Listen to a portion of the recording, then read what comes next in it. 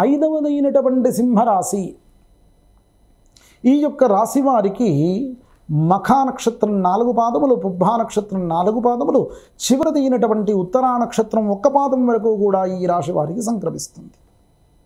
సింహరాశికి ఎనిమిది ఆదాయము పద్నాలుగు వ్యయం. పాపం సంపాదించుకున్నదంతయు కూడా ఖర్చయిందైపోయినా ఇంకా మిగులు అప్పు ఎక్కువగా ఉంటుంది. దానికంటే కూడా ఎక్కువ ఖర్చు కావడానికి అవకాశమే. ఈ రాశివారు ఈ సంవత్సరంలో ఒకటి రాజపూజ్యం ఐదు అవమానం.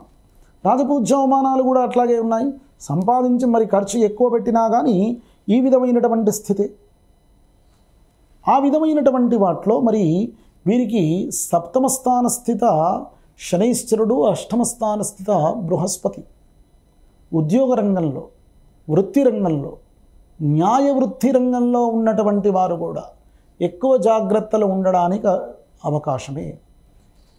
ఇంకొకటి వీరికి వైద్య రంగంలో ఉన్నటువంటి వారికి కొంత కలిసి రావడానికి అవకాశము శస్త్రచికిత్సలు కానీ సైంటిస్టులు కానీ అవడానికి వీరికి అవకాశం ఉన్నటువంటి సంవత్సరమే. కొత్తగా ప్రయోగాలు చేసేటువంటి వారికి సక్సెస్ అయ్యేటువంటి సంవత్సరం. ఈ శుభకృతనామ సంవత్సరంలో ఈ సింహరాశి వారికి స్థిరాస్తులు కానీ మిగతావి కానీ సంవత్సరాంతం వరకు కూడా ఆలోచించకూడదు.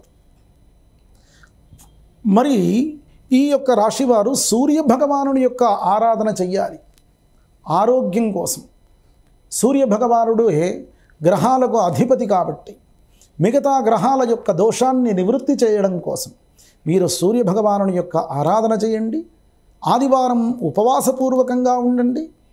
సకల విధమైనటువంటి శుభాలు పొందండి.